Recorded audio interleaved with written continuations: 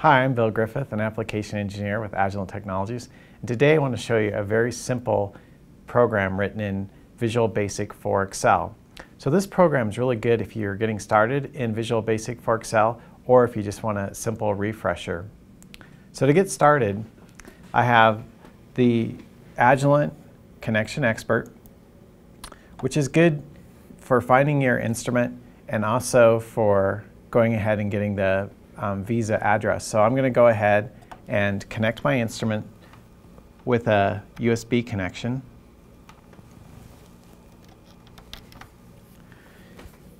And the connection expert will go ahead and, find the instrument.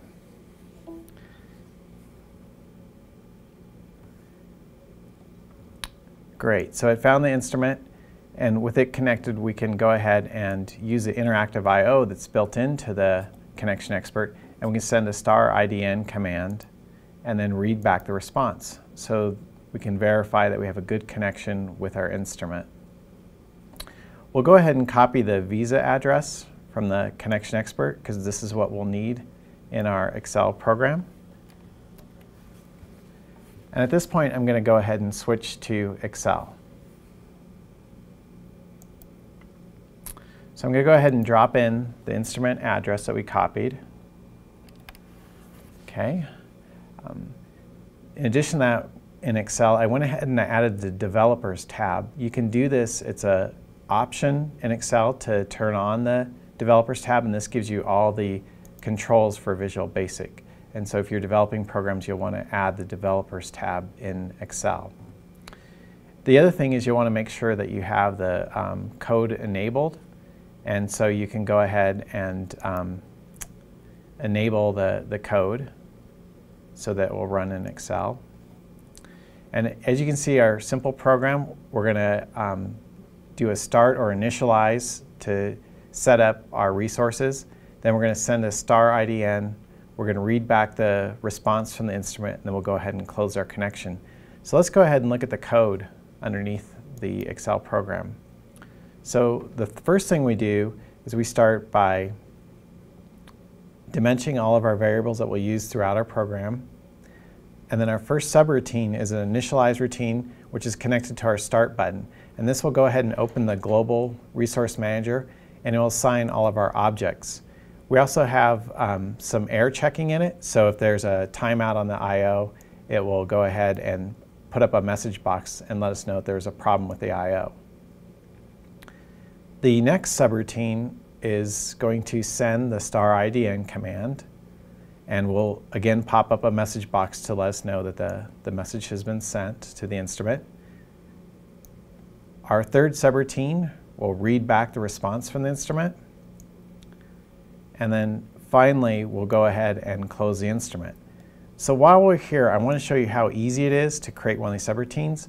So let's go ahead and, and just copy our subroutine that sends the star IDN command. So we'll go ahead and copy the whole thing.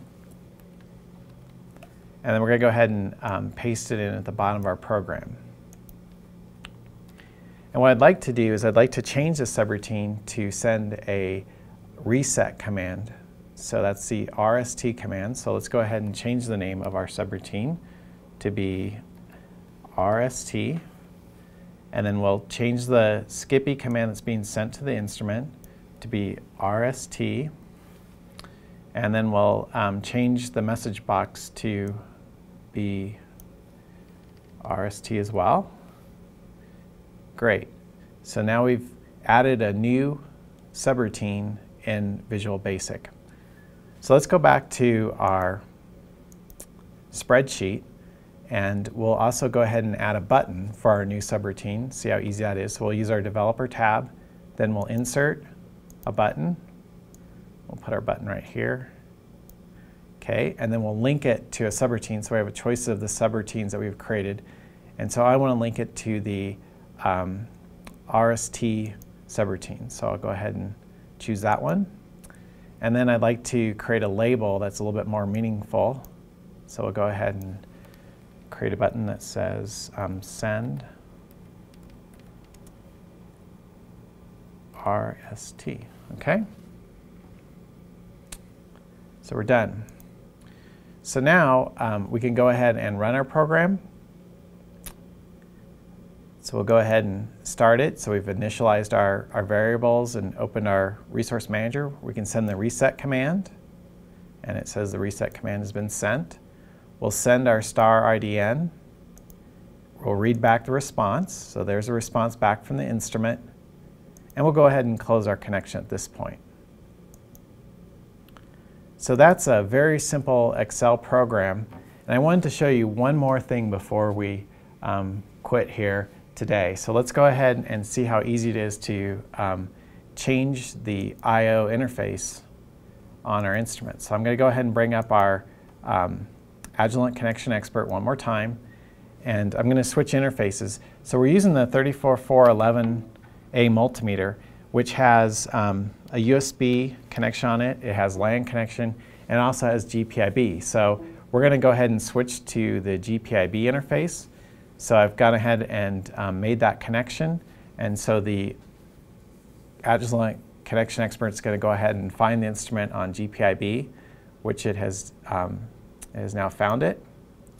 So we'll go ahead and um, once again, we'll go ahead and grab the, uh, the uh, GPIB address. So what we want is we want the um, Visa address. That's what the Visual Basic for Excel will use. So I'll go ahead and copy that and then I'm going to go ahead and paste it in my program.